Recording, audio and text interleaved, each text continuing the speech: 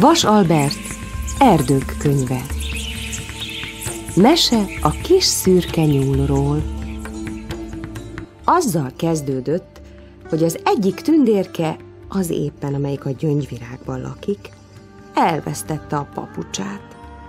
Hogy miképpen vesztette el, azt nem lehetett tudni. Egyszerre csak nem volt meg, már ahogy általában az ilyen elvesztésekkel lenni szokott. Reggel föl akart kelni, hogy megmosdjék a harmadban, ami a gyöngyvirág széles levelein meggyűlt, és hát csak nem volt a papucs sehol. Pedig még egészen új papucs volt, szép fehér. Hullott gyöngyvirág sziromkejhéből készült.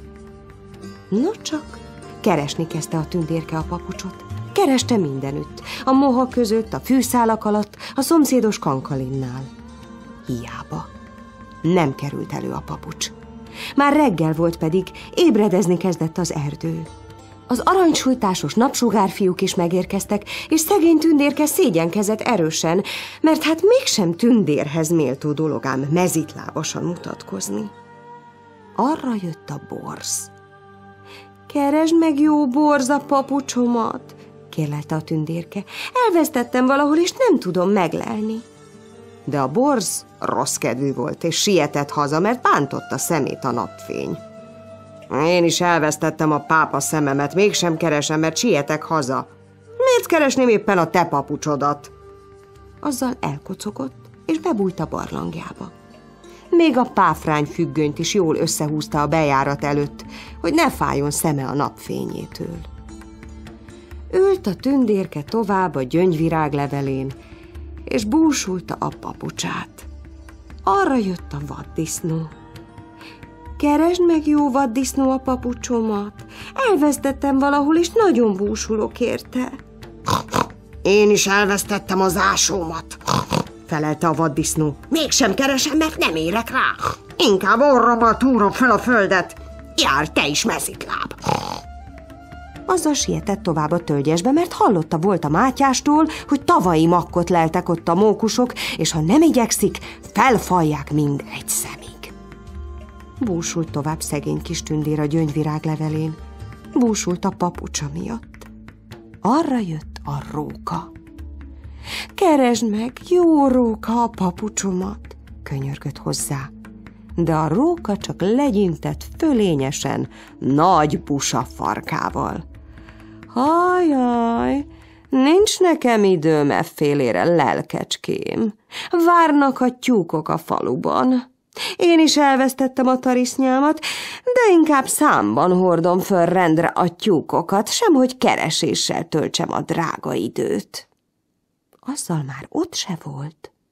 Jött az őz. Keresd meg, jó őz a papucsomat, elvesztettem, látod, és nem tudom meglelni. Egyet se búsulj, vigasztalta a jó szívű őz. Én is elvesztettem az agancsomat még a télen, és látod, már nő is helyébe másik. Nő majd a te lábadra is más papucs, bizonyára. S ment tovább nagy büszkén a patakhoz, hogy megcsodálja vadonatúj agancsát a víz tükrében. Hiába jött még arra a mókus, a sündisznó meg a nyest, a mókus a magadiótörőjét kereste, a sündisznó elveszített néhány tüskét a hátáról, a nyest pedig kijelentette, hogy neki semmi köze ahhoz, amit mások elveszítenek. Mindenki ügyeljen a maga holmiára. Különben is, tette hozzá. Ő a fákon jár, és ott amúgy sem lehetne papucsot keresni. Szegény kis tündérke elkezdett keservesen sírni ott a gyöngyvirág levelén. Hát ahogy ott sírdogál, arra jön a kis szürke nyúl. Miért sírsz, szép tündér? Mi bánatod lehet? Csodálkozott a nyúl. Jaj, ne is kérdezd, szipogta a tündérke ne sírnék, amikor elvesztettem szép fehér sejem papucsomat, és senki sem akarja megkeresni. Ne sír, no, ne sír, szánta meg a jó szívű kis nyúl. Majd én megkeresem. Igazán megtennéd, derült föl a tündérke. Jaj, milyen derék kicsi nyúl vagy. Hát, ha megtalálod, én is készítek majd neked ajándékba egy papucsot. Jó meleget, hogy ne fázzik télen a lábad. Jó lesz? Nagyon jó lesz, vidámkodott neki a kis szürke nyúl. Bizony nem a legjobb dolog így mezitláb futkosni, különösen tél idején. És azzal elindult, hogy megkeresse a tündérke papucsát. Ugrált ide, ugrált oda, hajlongott, szimatolt alaposan, és jól megnézett mindent.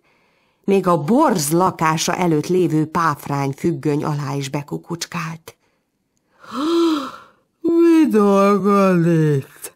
mordult rá álmosan a borz, mert nem kedvelte, ha megzavarták pihenőjében. – Bocsáss meg, tiszteletre méltó borz! mentegetőzött a kis szürke nyúl, de a tündérke papucsát keresem. És ha én valamit keresek, akkor mindent megnézek. Ja, az bizony okosan teszed, békült meg a borz, és ha már amúgy is benne vagy a keresésben, megkereshetnéd az én pápa szememet is, mert anélkül bizony bántja szememet a napfény. Megkeresem én szívesen, ajánkozott a jó szívű kis nyúl. Elhiszem bizony, hogy rossz lehet neked pápa szem nélkül. S ment tovább, ment, szögdelt, bugdácsolt, keresett tovább. Szembe jött a róka. Letette a tyúkot, amit a szájában hozott, és csodálkozva kérdezte. Mit művelsz, te nyúl? Csak ugrálsz ide, ugrálsz oda, mindenővé bedugod az orrodat. Miféle furcsa mesterségre tettél szert újabban? A tündérke papucsát keresem, felelte illedelmesen a kis szürke nyúl. Meg a borsz pápa szemét, s ha én valamit keresek, akkor mindent jól megnézek. Azt bizony okosan teszed, bólintott a róka. És ha már úgy benne vagy a keresésben, Megkereshetnéd az én tarisznyámat is. Látod? Számban kell cipeljem a tyúkokat. Az bizony gusztustalan lehet, sajnálkozott a jószívű kis nyúl. De ne búsulj, majd én megkeresem szívesen a te tarisznyádat is. Azzal keresett tovább. Minden lapja alá benézett, minden kis gödörbe beleszimatolt, minden követ körülugrált. Meglátta lent a pataknál az őz, és nagyon elcsodálkozott. Hát, te ugyan mit csinálsz? kérdezte. Ilyet se láttam még, hogy valaki folyton csak ugrabugráljon ide-oda. Én bizony a tündérke papucsát keresem, kedves őz, felelte a kis nyúl, meg a borz pápa szemét és a róka tarisznyáját, és ha én valamit keresek, akkor mindent jól megnézek. Nem látta, de véletlenül valamelyiket ezek közül. Azzal két lábra ágaskodott gondtelten, és nagyon fontoskodva, hogy jobban láthassa az őzet. De az csak a fejét rázta. Nem láttam, nem bizony. Azonban elég bolond vagy, ha olyasmit keresel, ami elveszett. Én is elvesztettem az agancsomat, és látod, itt van újra a fejemen anélkül, hogy kerestem volna. S ezzel újra odahajolt a patak fölé, hogy tovább gyönyörködjék vadonatúj akancsában. Ilyet se hallottam még, bámult el a kis szürke nyúl, és még a füleit is megrázta néhányszor. De azért én bizony csak keresek tovább, mert megkértek rá. Azzal ment, szögdösött, pugdácsolt tovább. A tölgyesben ráröffent a vaddisznó. Hé, te ott! Te nyúl! Te megbolondultál, hogy olyan furcsán szögdösöl elé hátra? Nem én, tisztelt vaddisznó, telelte illedelmesen a kicsi nyúl. Csak a tündérke papucsát keresem, meg a borz pápa szemét és a róka tarisznyáját. Bár az őz azt mondta, hogy nem kell keresni azt, ami elveszett, mert magától is megkerül, azért én mégis keresek, mert megkértek rá. S ha én valamit keresek, akkor mindent jól megnézek. Azért szögdösök annyit ide-oda. Hát, az szép tőled, bólintott a vaddisznó. És ha már úgyis annyi mindent keresel, akkor megkereshetnéd az én ásómat is. Mert bizony nem a legkellemesebb foglalkozás az orroma ásni a földet. Bizony, az nagyon kellemetlen lehet, sajnálkozott részvétel a kicsi nyúl. Megkeresem én szívesen az ásódat is, hogy ne kelljen orroddal túrnod a földet. És ment tovább, ugrált, bekukucskált a lapik alá, kövek mögé, megnézett mindent jó alaposan. Közben még összetalálkozott a mókussal, a sündisznóval és a nyestel. Mindegyik elcsodálkozott, amikor meglátta, és mindegyik megkérdezte, hogy micsoda furcsa új mesterségre tett szert. A kis szürke nyúl pedig mindegyiknek hűségesen elmondta, hogy ő bizony a tündérke papucsát keresi, meg a borsz pápaszemét, meg a róka tarisznyáját, meg a vaddisznó ásóját, s bár az őz ugyan azt mondta, hogy nem érdemes keresni, ő azért mégis keres, mert megkérték rá. S ha ő valamit keres, akkor mindent jól megnéz, azért ugrál hát olyan különösen. Erre aztán a mókus is megkérte, hogy keresné meg a dió törőjét, ha már úgyis benne van a keresésben. A sündisznó megkérte, hogy keresse meg a tüskéit, amiket elveszített. A nyest pedig rábízta a tegnapi napot, hogy azt is keresse meg, ha már úgy szeret keresni, mert bizony elveszett, ám bár igen nagy szükség lenne rá.